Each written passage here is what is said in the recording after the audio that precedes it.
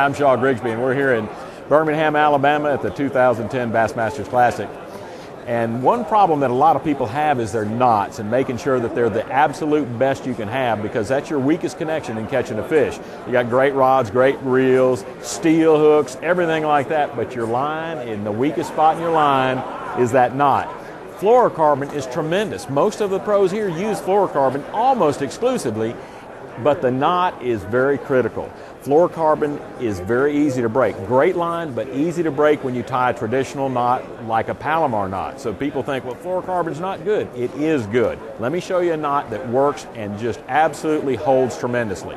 Now I'm going to take my line and instead of using it single, I'm going to double it over. So I'm going to fold it just like you would to tie a, a Palomar knot or something else. I pinch down the end, make it real small, and slide it through the eye of the knot. I mean, through the eye of the hook. Now, if you have a small eyed hook, you can slide it through single, turn around slide it right back. You just want to get doubled line through there. Now notice I switched hands. I'm going to put the line between my index finger and my thumb, right here.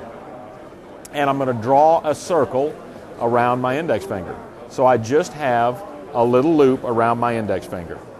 That's it. Now I'm going to turn it this way. I'm going to put that hook in my finger right there and hold it. And I'm just going to wrap three times. One, wait a minute, I missed it. One, two, three, around both lines.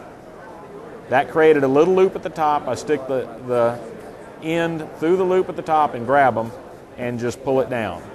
So I have two lines coming in, going around, coming right back out.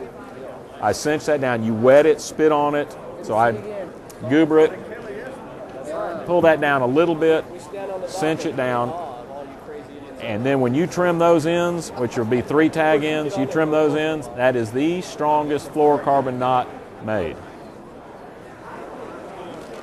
Have no idea what the name of it is, but that's it. Matt Reed taught it to me. I've tested it over and over and over against every knot I can find. That's the best consistently.